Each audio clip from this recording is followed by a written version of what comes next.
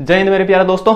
आज हम बात करते हैं एक ऐसी खुशखबरी के बारे में, जिसका राजस्थान के युवा को पिछले कई सालों से इंतज़ार था। क्योंकि 2016 में पिछली ग्राम विकास अधिकारी की जो भर्ती आई थी, उसके बाद में अभी तक कोई भर्ती नहीं आई थी और इस पर जो है कई बार खबरें आ चुकी हैं। तो अब जो है इसका ऑफिशियल नोटिफिकेशन आ चुका है दोस्तों, और इसके विषय में हम आज संपूर्ण जानकारी लेंगे।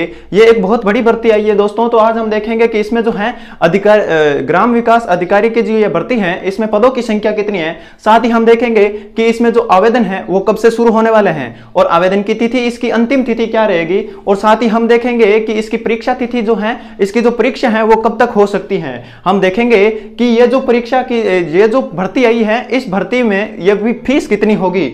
और इसमें जो शैक्षणिक योग्यता है, उन सभी के बारे में आज हम दोस्तों शुरू करते हैं बात को।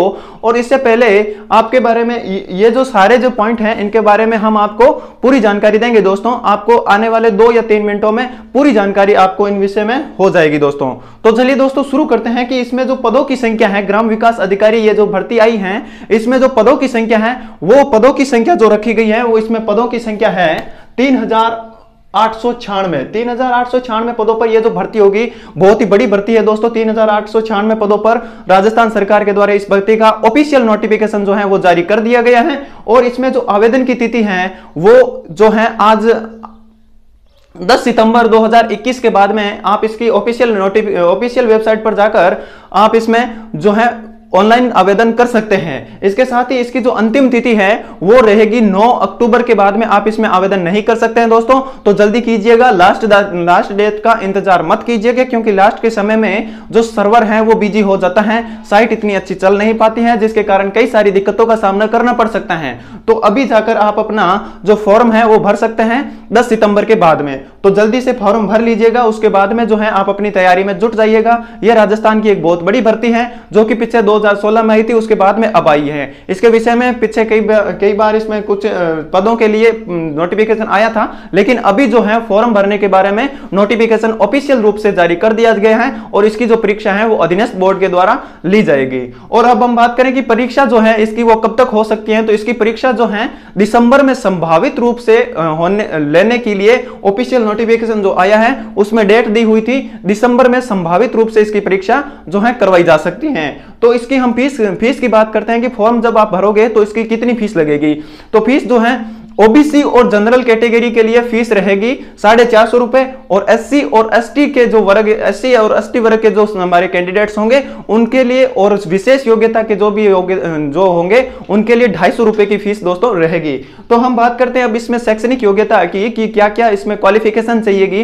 तो आपको स्नातक होना ज़रूरी है और R S C I T का एक सर्टिफिकेट यानी कि आरकेसीएल किया होना, किया हुआ होना चाहिए। अब जो दोस्त हमारे फाइनल ईयर में अभी चल रहे हैं या फिर जिनकी अभी फाइनल चल रही है बीए की तो वो ग्रेजुएशन में जो फाइनल ईयर में है, वो इसका फॉर्म भर सकते हैं कि नहीं भर सकते हैं? तो दोस्तों, वो फॉर्म भर सकते हैं, क्योंकि ये जो भर्ती की प्रक्रिया है, वो लंबी चलेगी। तो इसके बाद में जब ओपी जो इसका रिज़ल्ट आएगा, उसके बाद में जब आपका डॉक्यूमेंट वेरिफिकेशन किया जाएगा, तब तक आपकी जो है ग्रेजुएशन कंप्लीट हो जाएगी दोस्तों। तो बिना किसी संकोच के आप अपेयरिंग लगाकर इसका जो फॉर्म है, वो भर सकते हैं। अब बात करते हैं कि इसमें जो आयु की जो है, वो क्या क्राइटेरिया रखा गया है? तो आयु आपके लिए न्यूनतम आयु जो है 18 वर्ष होनी चाहिए और अधिकतम आयु 40 वर्ष रखी गई है। उसमें भी आयु के लिए पाँच पाँच वर्ष की छूट जो है विषय सभी वर्गों के लिए दी गई है।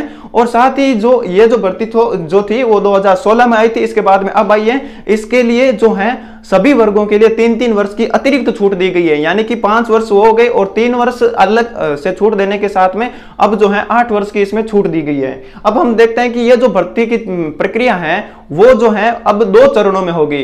क्योंकि पहले जो एक ही पेपर होता था और उसके बाद में जब आपकी प्रक्रिया समाप्त हो जाती थी, अब जो है वो दो पेपर होंगे। पहले एक प्री के लेवल, प्री पेपर होगा और उसके बाद में मेंस होगा। प्री का जो पेपर होगा, उसमें पंद्रह गुना सदस्यों पंद्रह गुना कैंडिडेट्स को शामिल किया जाएगा और उसके बाद में इस प्री के एग्ज़ाम के आपके जो मार्क्स हैं, वो उसमें काउंट नहीं किए जाएँगे। दोस्तों, आपको प्री में केवल पास होना है पासिंग पासिंग मार्क्स ही लाने हैं। ऐसा नहीं है कि आपका अगर कट ऑफ़ के पास अगर आ रहे हो तो उसके आपके प्लस होंगे, या फिर आप मेरिट जो है टॉप में आ रहे हो, फिर भी आपके काउंट जो नंबर है, वो काउंट नहीं होंगे। दोस्तों, सारे जो नंबर ये सिर्फ़ आपको पास करना है, और उसके बाद में जो है मेंस का एग्ज़ाम होगा, उसी के आधार पर आपको जो है ज्वाइनिंग दी जाएगी दोस्तों। तो ये दो चरणों में होगी। पहला पेपर जो है, वो संभावित रूप से जो है, आपका दिसंबर में लिया जाएगा ऑफिशियल नोटिफिकेशन के अनुसार। और दूसरा जो आपका मेंस का पेपर है, वो फरवरी 2022 के आसपास लिया जाएगा।